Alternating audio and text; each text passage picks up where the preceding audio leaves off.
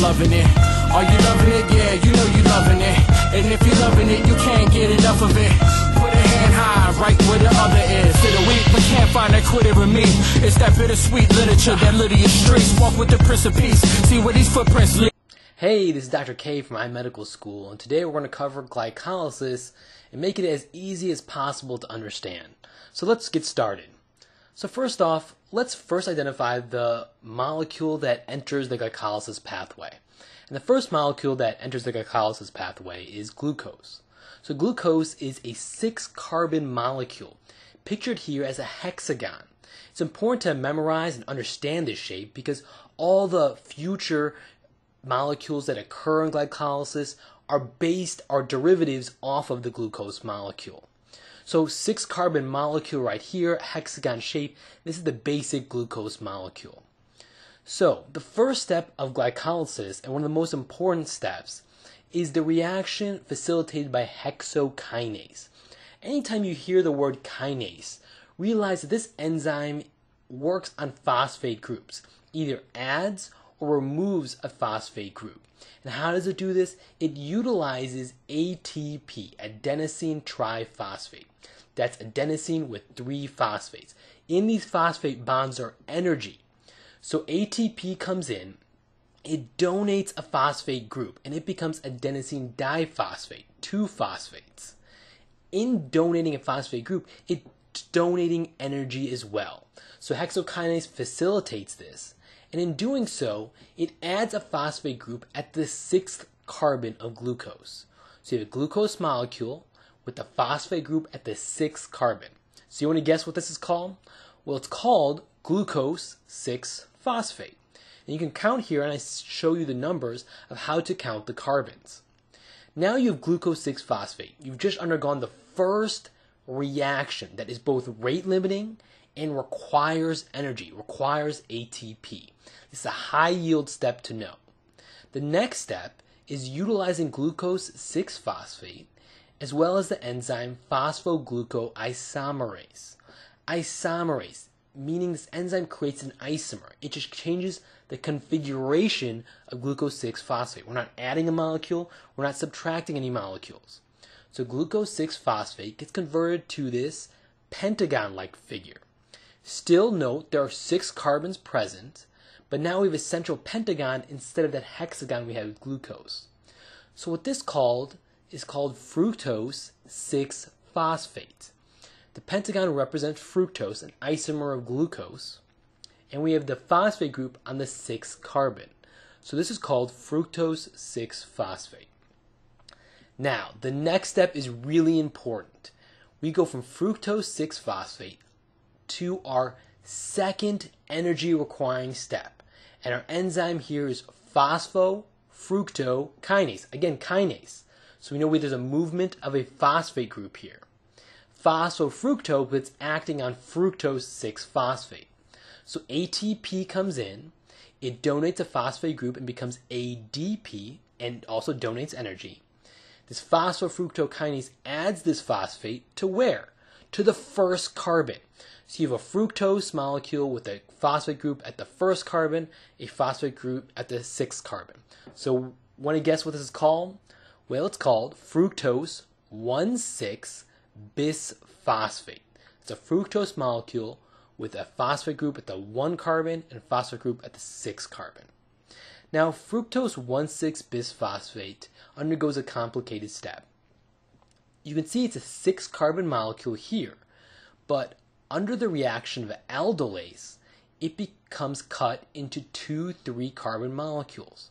It can either become dihydroxyacetone phosphate or it can become glyceraldehyde 3 phosphate. Glyceraldehyde 3 phosphate and dihydroxyacetone phosphate are isomers of one another. So the body regulates how much glycolysis occurs partly in utilizing this step. If there's too much glycolysis that occurs, this reversible reaction favors dihydroxyacetone phosphate almost act like a brake on glycolysis. But if the body requires energy, it's going to promote the production of glyceraldehyde 3 phosphate. And the enzyme triphosphate isomerase creates this balance and favors one molecule over the other based on how much ATP and ADP is present in the body. So once you have glyceraldehyde 3 phosphate, the next step is a dehydrogenase reaction. Glyceraldehyde phosphate dehydrogenase comes in, so it's removing hydrogen ions. So NAD, a hydrogen ion carrier, and an inorganic phosphate group come in. The NAD picks up hydrogen ions and the phosphate group is donated. In this process, we produce 1,3 bisphosphoglycerate, otherwise known as 1,3-BPG. This molecule is so important, not only for, for glycolysis, but 1,3-BPG is a precursor to 2,3-BPG, otherwise known as 2,3-bisphosphoglycerate. 2,3-BPG regulates hemoglobin's affinity for oxygen in our red blood cells. So that's why this molecule has a dual importance. Now, 1,3-bisphosphoglycerate goes on to the next step where it's acted on by phosphoglycerate kinase. Kinase, again, an enzyme that acts on phosphate groups. But before we putting in energy, we were giving up ATP. Here, we're going to actually be producing ATP. So this kinase removes a phosphate. So ADP comes in and it picks up a phosphate by utilizing the kinase, creating ATP. Now realize, we're working with one three carbon molecule here. We started off with a six carbon molecule that got split up into two three carbon molecules. So all the reactions from here on out are in duplicate. So really for every glucose molecule, at this step we're producing 2 ATP. Okay? So think about that and try to understand that. Now, once kinase has acted, it produces 3 phosphoglycerate. Why? We had one, a phosphate at the 1 and 3 group of the 1,3-BPG. Kinase removed a phosphate at the 1 carbon, leaving us the phosphate at the third carbon, creating 3 phosphoglycerate. Now that we have 3 phosphoglycerate, the next step is phosphoglyceromutase. So this enzyme phosphoglyceromutase changes around the molecule. It mutates it. There's no change in the molecule's presence. So there's no leaving of hydrogen or oxygen or phosphate. It just changes around the molecules that are there.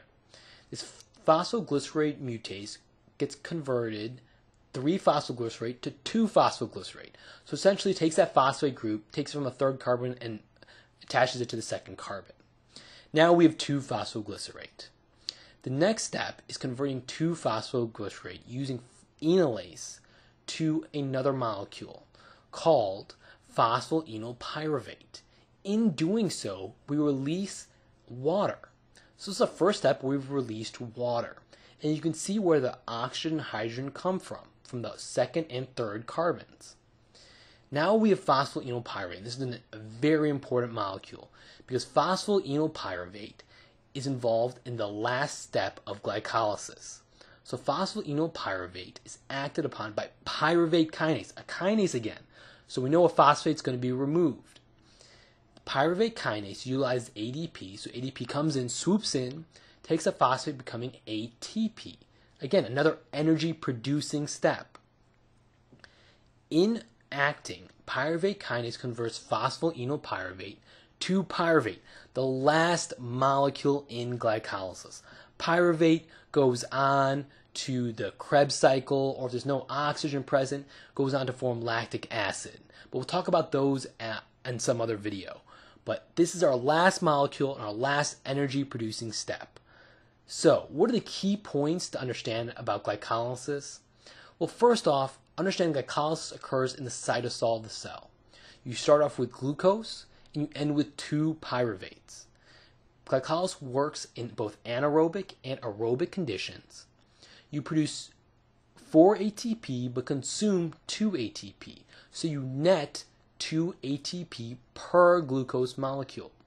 You produce 2 NADH and hydrogen ions for every glucose produced, and you'll be utilizing those later. you'll also produce two water molecules as well. What's really important to memorize is really understand the rate limiting steps. Which ones require ATP? Those are your rate limiting steps.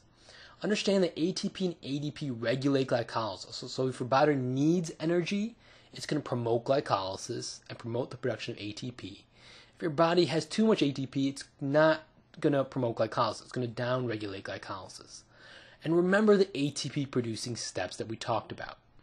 If you really want to get like 100% in ACID test, keep track of where your phosphates and hydrogens leave and enter. Sometimes they'll ask you that they'll put a radio tracer on a certain oxygen and ask you where does it leave the energy production cycle of the cell. So that's a brief review of glycolysis. If you like this video, make sure to share it with your friends on Facebook as well as Twitter. Give it a like. Also, if you have any comments or suggestions or questions, place them down below. And most importantly, subscribe. It's Dr. K from iMedical School, and I'll see you next time.